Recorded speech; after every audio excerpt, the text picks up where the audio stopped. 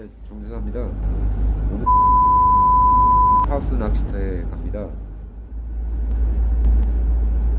지난번에 그 손맛을 많이 봤는데 오늘도 상당히 기대가 됩니다.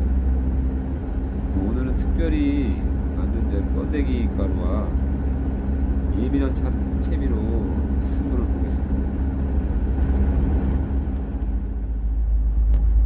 갑자기 날씨가 추워져서 그 낮에도 쌀쌀할 것 같습니다.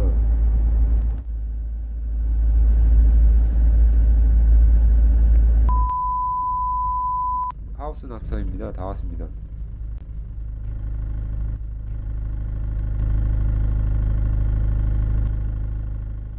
때는 처음 왔는데 어, 안에서 들어와 보니까 규모가 상당하네요. 그 조사님들은 별로 안 계시고 그 가운데 정도에 자리를 잡겠습니다. 와 생각보다 수심이 엄청 나옵니다. 지금 그 찌를 아이 그 초리대 끝 부분 한 40cm 정도까지 이렇게 오- 올린 상태인데 수심이 약 한 4m 이상이 나오는 것 같습니다. 4m 이상 나오는데 그 수심이 엄청 깊네요.